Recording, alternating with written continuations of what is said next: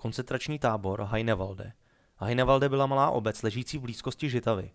Na tomto místě v roce 1749 vybudoval šlechtický rod von Kiau zámek v renesančním stylu.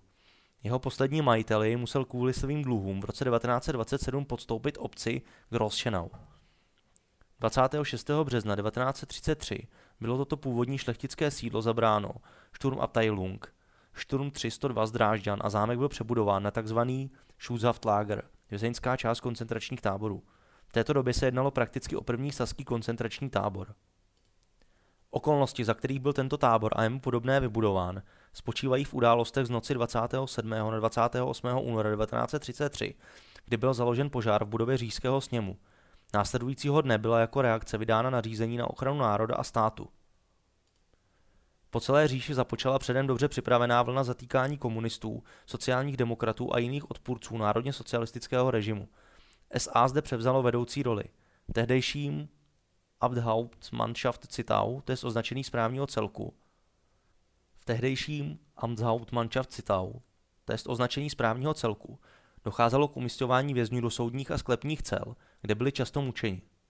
Dva dny po zřízení zámku Heinewalde jako koncentračního tábora pod oficiálním označením Schutzhaftlager sem byli přeloženi vězni z jiných míst. Jako přivítání museli tito lidé projít uličkou mezi příslušníky SA, kde byli mláceni gumovými ubušky, pažbami od pušek a byčemi na dobytek. Tomu museli poslouchat nadávky do komunistických sviní, rudých psů a podobně. Běžný den se zde skládal z hodiny dlouhého stání v pozoru, drillu a výslechů v zapisovatelně, které byly provázeny bytím a kopanci. Pracovní doba trvala od 7.30 do 18 hodin, snídaně, oběd i večeře byly přidělovány za poklusu. Na denním pořádku bylo fyzické týrání. Vězni byli navíc nuceni zpívat fašistické písně. Těm, kteří nespívali dostatečně nahlas, byly uštědřeny rány obuškem. V místnostech se nenacházely židle ani stoly, hygienické poměry byly katastrofální. Veškerá pošta byla cenzurována. Vězni museli těžce fyzicky pracovat, byli zapřahováni do pluhů a během týrání od dozorců využívání k orání přilehlých spustlých polí. Vězni museli těžce fyzicky pracovat, byli zapřahováni do pluhů a během týrání od dozorců využívání k orání přilehlých spustlých polí. Jiní vězni byli nasazováni ke kácení stromů. V následujícím popisu můžeme vidět ukázku obvyklého zacházení. Komunista Atur Štole byl začen 5. března 1933. Po svém dopravení do tábora Heinewalde se musel postavit ve strážnici čelem ke zdi. Příslušníky SA byl mlácen do podkolení a dozad. U výslechu mu byly předloženy následující otázky. Jsi komunista, to tě můžeme odnaučit. Můžeš říci Heil Hitler. Tomu byl po celou dobu mlácen pěstí do obličeje, což dohromady trvalo asi hodinu. Jiní vězni museli denně pít ricinový olej, podle slov SA k tomu, aby marxismus vysrali. Nejhůře bylo zacházeno s vězni židovského původu. Jeden z židovských vězňů byl celé dvě hodiny týran ve výslechové místnosti takovým způsobem, že se po ukončení výslechu opouštěl místnost té najíc a plazící se po čtyřech. Jeden z židovských vězňů byl celé dvě hodiny týran ve výslechové místnosti takovým způsobem, že po ukončení výslechu opouštěl místnost té najíc a plazící se po čtyřech. Jiný židovský vězeň měl sloužit jako odstrašující případ, když byl uprostřed velké haly zbyt do bezvědomí před zraky ostatních vězňů. Celou událost provázely rasistické projevy SA, jak svědčí například následující slova praporčíka Paula Unterštába. Doslova. Zde vidíte židovské svině, kteří nás učinili nezaměstnanými.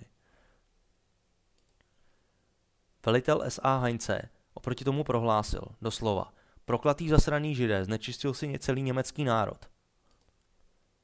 Poté, co dotyčný židovský vězeň ležel polomrtvý na zemi, bylo jeho tělo odvlečeno do auta a převezeno přes československé hranice, kde bylo pohozeno na poli. Tam je našli pohraničníci, kteří těžce zraněného muže převezli do nemocnice. Sotva byl schopný vylíčit celou událost, zemřel na následky zranění. Tento případ se 2. dubna 1933 dostal do mezinárodního tisku. Vylíčení všech útrap, kterými si tento člověk prošel, by zabralo ještě mnoho stran textu. Lékařská péče byla ve věznici na mizerné úrovni. Doktor Schubert, vězeňský lékař v Heinewalde, byl sám přesvědčeným nacistou. Poskytování lékařské péče bylo z jeho strany dost odbýváno.